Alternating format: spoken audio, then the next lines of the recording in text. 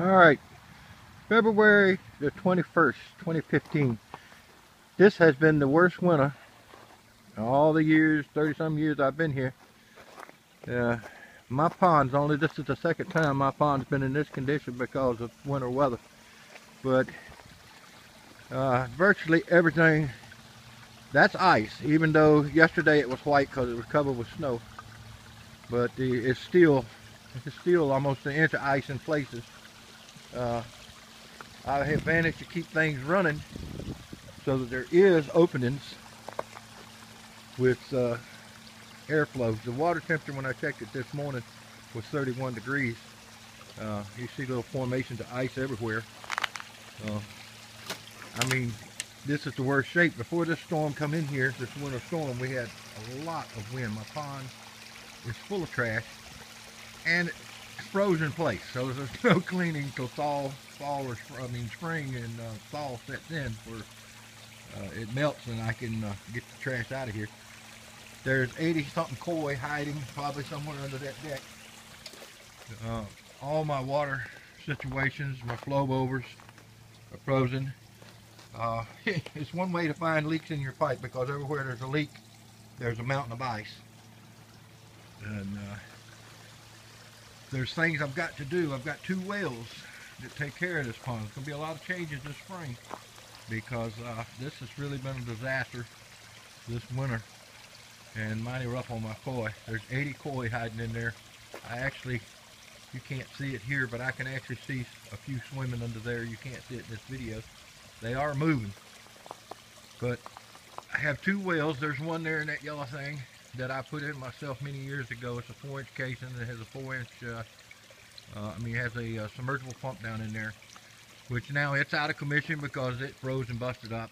That's the original well house that was here many years ago. That's a bored well. It's only about 55 feet deep. Uh, it's frozen out of commission. And because that's a live bed over there, my water level has dropped. It's actually an inch or so lower than it should be uh, you know, it's just a frozen mess. But I've been looking at a lot of this, my aquaponic bed, which is not any use right now. But uh, all my returns, there's ice everywhere. My water level now is getting critical. I got to get it back up. No way to do it well water. We have city water, but that's a no-no. Uh, I've been looking at videos on YouTube, and I intend to take that well there and make it a airlift pump, which this would have eliminated this problem. I'd have continuous airlift using a small, uh, about an 80 watt capacity uh, airlift uh, air pump and make an airlift pump design, which would give me continuous water out of that well. That well water stays at 65 degrees year round. Uh, it would not completely warm the pond back to that, but it would, it would have eliminated a lot of this freezing, and my water level would not be critical now. Uh, my returns, I've tried to keep everything flowing. As long as the water is, it can be below freezing. As long as it's flowing, you can resist the freeze up. And you can hear some of the gurgling and whatnot going on. Uh, that keeps everything from freezing solid and allows the gases to escape. Uh, a lot, a lot of work I got to do this way. But I am going to experiment and I'll let you know how that comes out but I am going to put in an airlift pump in my well and eliminate this problem. Now you figure a thousand watt uh, submersible pump uh, it's a lot of electricity power is getting extremely high now. Uh, might mention the swimming pool out there. I checked out a while ago.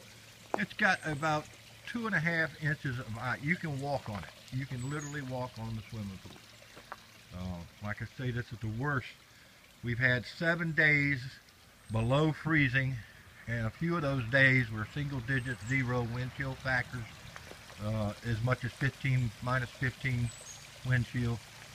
Uh, pretty rough. Pretty rough. Now, just to give you an idea, everywhere water's flowing, there's little ice crystals creations. Uh, I don't know if you can hear it. Whoop, I saw fish. I tried to get, I tried to got him, one of the big koi but ice formation everywhere. I just ice. Well, I'm walking on the deck and it's just cracking. but uh, you can actually see through that. It, it might not, well, there's a reflection, you can tell more. It's, it is ice. It's clear in places where you can see through, but it is, it's, it's ice. and a lot of it. So my work is really cut out for me this spring. If they start falling out, I know the fish will be glad of it. But there is going to be a lot of changes. I don't intend to get caught like this anymore. Uh, it has caused a lot of damage, busted pipes, ice everywhere. Poor fishy.